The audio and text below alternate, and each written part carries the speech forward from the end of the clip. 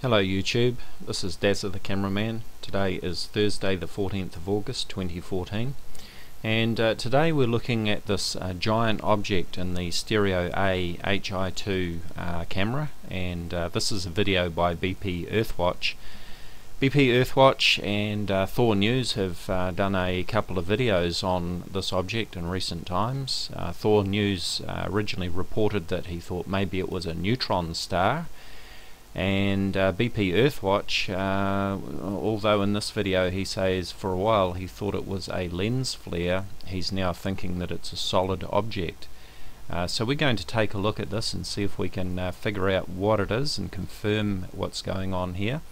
So first of all let's have a listen to a uh, part of BP Earthwatch's video.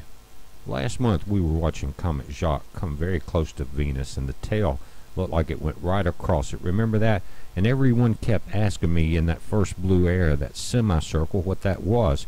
And because it never moved, and the object that was behind it never moved, that was showing the most density, it looked like a corrupt uh, lens or a scratch on the lens or a lens flare, but it stayed there.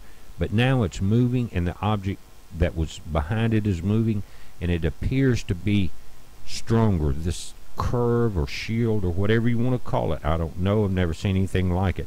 And I had written it off, to be honest with you, as some type of lens defect, as I imagine a lot of you guys that watch this had too, because it never moved. But now it's moving. Check this out. It's moving down and to the left, and the object is moving that is very close to it.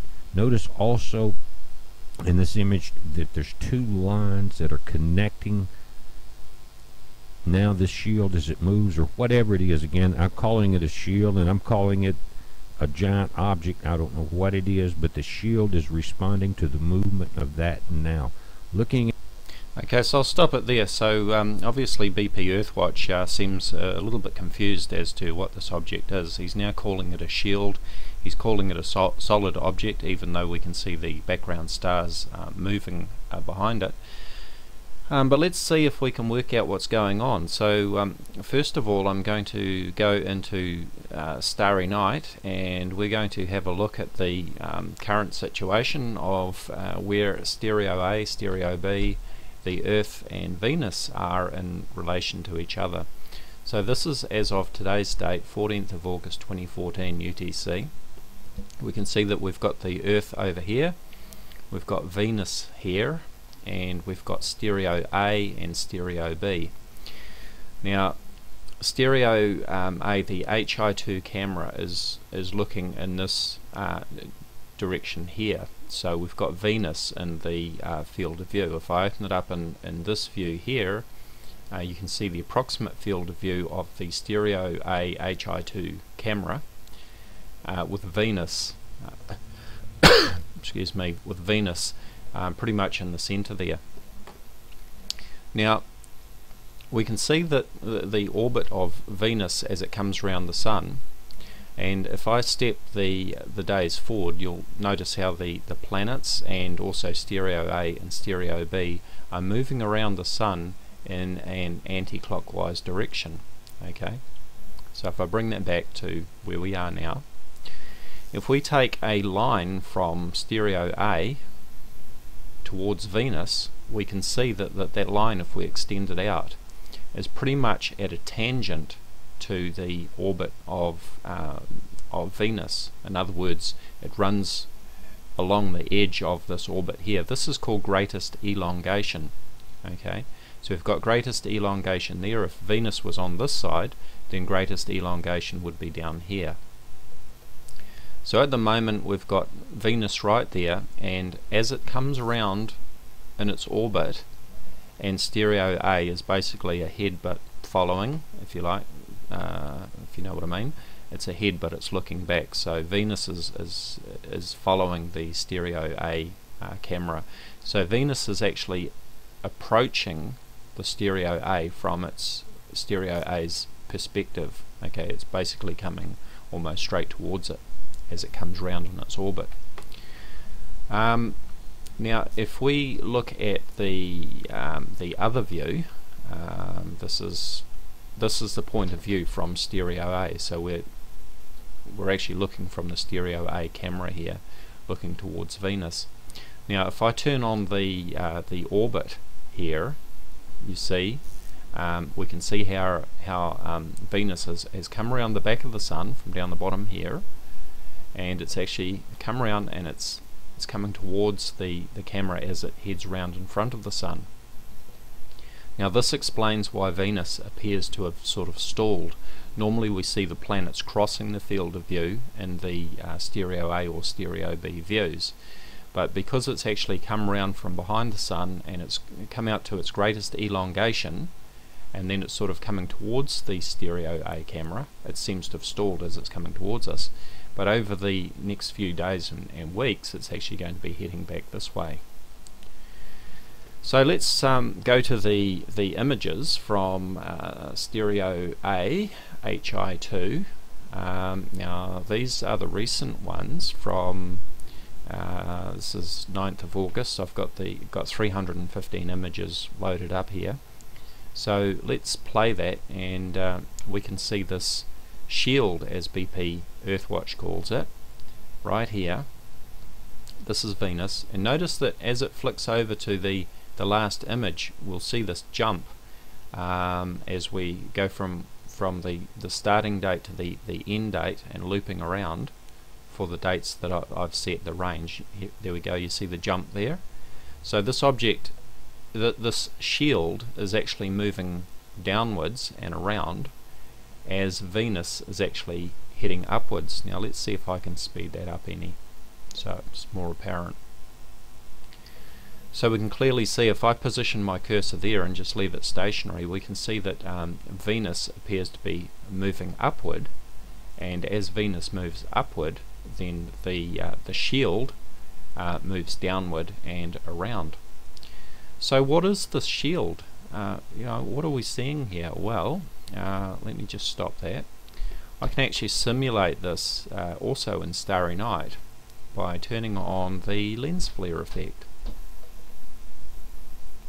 Okay, so now you can see that we've got this shield thing here. Now this one is created from the uh, glare off the sun. In Starry Night I can't produce one off Venus, uh, it's not part of the software, but um, this is a simulated lens flare from uh, the, the sun and uh, it will show us the same thing. So as I move this around you can see how that lens flare follows the sun. It's always pointing towards the sun like that. It's always pointing towards the sun and uh, you know it gets brighter or, or dimmer depending on, on the position. Now this is actually what's happened um, with uh, Venus as it's come into the field of view of the Stereo A HI2 camera. It's giving. Remember that Venus is a very bright uh, star-like object. It's the brightest planet in our sky. The next brightest is Jupiter. So as Venus has moved into the field of view of the stereo A camera, it is giving off this lens flare effect, and that is what we're seeing in these images. Now you might say to me, well, that's just BS because why haven't we seen it before? Well, that's what some people have said. In fact, we have seen it before, so let's take a look. This is from August 2014. Um, the previous time that uh, Venus was at greatest elongation like this was uh, around about the 18th of October 2012 and what do we see? We see the shield again. Uh, the next one before that was, uh, what have we got, 11th of January 2011 and again we see the shield and before that we've got 7th of April uh, 2009 and again we've got the shield. And before that uh, was around about 30th of June early July 2007 and again we've got the shield. Let's just um, start that. You can see some of those images. I'll just speed it up for you. So um, yep there is the shield there is Venus and uh, you know, again I can check any of these dates in Starry Night and confirm, for example, let's check that last one. So early July uh, 2007, so I'm going to bring this back to July and 2007 and my field of view has moved because that has to be set up specifically for each view Um, but you can see that Venus is at its greatest elongation in its orbit as it comes around. And uh, this is when it creates this um, the shield effect. One of the reasons being was if I zoom right into it you'll see the illumination of uh, Venus. This is like a um, a, a, last quarter uh, view of the of the moon if we were seeing it in our sky first quarter or last quarter it looks like a, a half a moon. And uh, so it is giving off that glare which is creating that um, that lens flare and that shield effect that we see just like um, just like in the simulation from the, the sun this one here. So that's all it is. It's a lens flare and that accounts for why it is transparent in the um, in the images. Let's go back to the first one and play it um, obviously we can see the background stars uh, through it so it's clearly not a solid object. And the reason why it's moving down is because Venus is moving up in the field of view. Now Astronomy Live has uh, done a number of videos on his on his channel. And uh, I recommend that you go to his channel Astronomy Live and uh, check out these three videos. Uh, Venusian lens flare masquerading as neutron star. This was the video that he produced in response to Thor News. Venus lens flare part 2, Venus lens flare part 3 and uh, I, am aware that Astronomy Live is currently working on a fourth video uh, where he's going to tie this all together. So I recommend that you go to his channel, subscribe and uh, watch out for his latest video. As always, do check out my Facebook discussion page, Voices of Reason to Explain X, Vortex. You'll find a link in the description area. Thank you for watching.